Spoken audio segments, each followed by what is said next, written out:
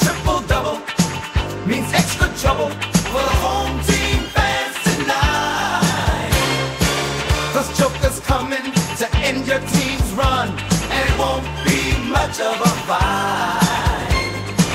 Once Joker takes them for a Serbian spin.